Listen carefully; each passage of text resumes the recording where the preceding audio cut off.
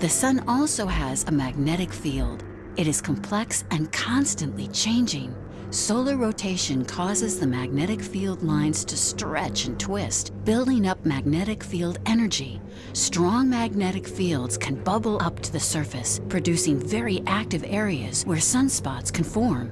Sunspots appear as planet-sized dark spots on the surface and have a great deal of magnetic energy.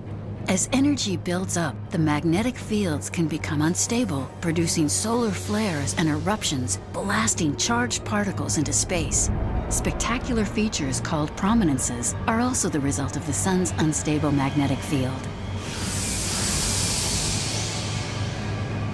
All this awesome power can produce sunquakes, solar tsunamis, and even solar tornadoes.